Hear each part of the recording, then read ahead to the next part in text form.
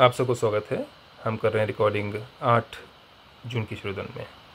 परमात्मा पिता कहते हैं कि अपनी सूक्ष्म शक्तियों पर विजयी बनने वाले राजऋषि स्वराज्य अधिकारी आत्मभवा।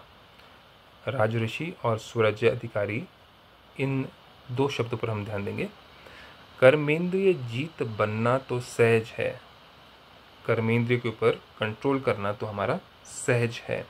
लेकिन मन बुद्धि संस्कार जो सूक्ष्म कर्मेंद्रिय हैं, इन सूक्ष्म शक्तियों पर विजय बनना, ये सूक्ष्म अभ्यास है। हम वैसे भी देखा जाए तो लौकिकता में, दुनिया में, दुनियादारी में भी देखा जाता है तो वहाँ पे बॉडी लैंग्वेज बहुत सिखाई जाती है। और कहा जाता है कि देखने का नज़रिया, उठने बैठने का नज़रिया, बात करते समय हाथ कहाँ रखना है, कैसे करना है, आँखों का एक्सप्रेशन कैसा होना चाहिए स्माइल कैसी होनी चाहिए ये सब कुछ सिखाया जाता है बॉडी लैंग्वेज तो हम कंट्रोल तो कर लेते हैं फ़िज़िकल सेंसेस पे अपनी, कि हम एक राइट right इम्प्रेशन किसी और को दे पाएँ।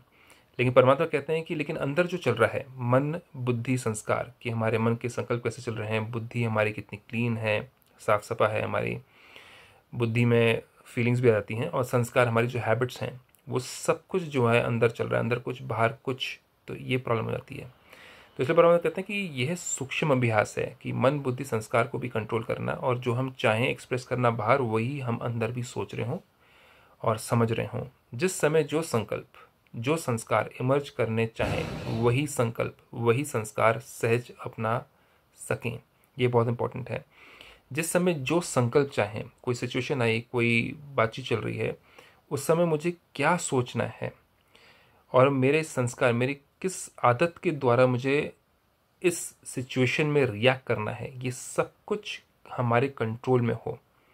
तब जाकर के सूक्ष्म कंट्रोल रहेगा।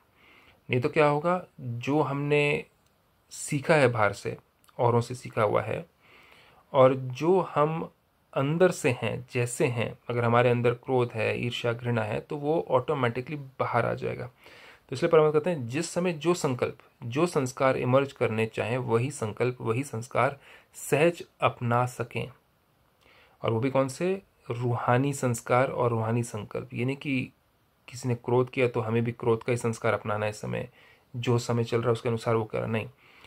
इसको कहते हैं सूक्ष्म शक्तियों पर विजय अर्थात राज ऋषि स्थिति। सूक्ष्म शक्तियों पर विजय। मन, बुद्धि और संस्कार हैबिट्स के ऊपर विजय। तब जाके राज ऋषि कहेंगे। अगर संकल्प शक्ति को ऑर्डर करो कि अभी अभी एकाग्रचित हो जाओ, है ना, कि कोई सिचुएशन आई है, कोई चीज़ के ऊपर फोकस करना है मुझे, ये चीज़ अटेंशन चाहती है, ये कार्य अटेंशन चाहता है, ये व्यक्ति अटेंशन चाहता है, इसकी बात सुननी इंपॉर्टेंट है, और आप आप अपने संकल्पों को ऑर्डर करो। अगर संकल्प शक्ति को ऑर्डर करो कि अभी अभी एकाग्रचित हो जाओ सारे तरफ़ से फोकस हटा दो फोकस करो इस बात पर। जो राजा का ऑर्डर उसी घड़ी, उसी प्रकार से मानना, यही है राज्य अधिकार की निशानी।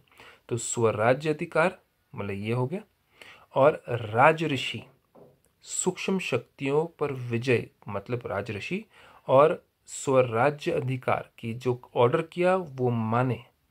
एकाग्र हो जाओ, चारों तरफ़ से फोकस हटा दो, वो माने। तो जाकर कहा जाएगा कि स्वराज्य अधिकारी की निशानी। इसी अभ्यास से अंतिम पेपर में पास होंगे। वो अंतिम पेपर में जब महा परिवर्तन हो रहा होगा, चारों तरफ़ पाँच तत्व उथल खा रहे होंगे। चारों तरफ़ साथी, संबंधी जिनको अपना मानते आए हैं हम अभी तक, वो सब कुछ शरीर छोड़ के जा रहे होंगे। उस समय मन को एकाग्र करना अपनी कर्मेंद्रियाँ चाहती हैं कि नहीं, उनकी तरफ़ भागें, लेकिन ऊपर से आ रहा है परमात्मा से ऑर्डर नहीं, वहीं पे वो खड़े रहो। ये सारी चीज़ों को मानना, कर्मेंद्रियों को सिर्फ़ ऊपर कंट्रोल नहीं, मन, बुद्धि, संस्कार के ऊपर कंट्रोल फीलिंग्स के ऊपर कंट्रोल अंतिम सीन को देखते हुए कंट्रोल करना, तब जाके पास हो पाएँगे जब हमारे ऊपर सेल्फ कंट्रोल होगा। सेल्फ मतलब आत्मा के मन, बुद्धि, संस्कार के ऊपर कंट्रोल और साथ ही साथ हम जो चाहें, जिस स्थिति में चाहें, जिस शक्ति को अप्लाई करना चाहें, वो उस समय एक्टिव हो जाए। ओम शांति।